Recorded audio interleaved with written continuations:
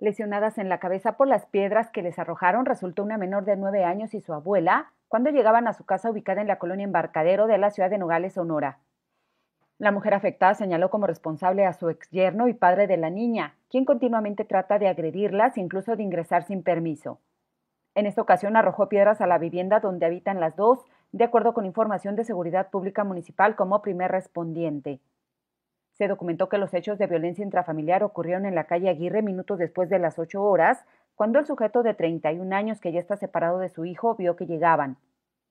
Agregó que constantemente la amenaza, ahora lanzando piedras, una de ellas de regular tamaño que le pegó en la cabeza a su nieta y otra a ella, que le hirió en la ceja izquierda ocasionándole hematomas y dolor.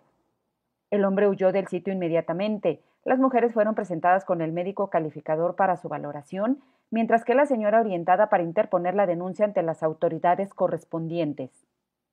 Azteca Noticias.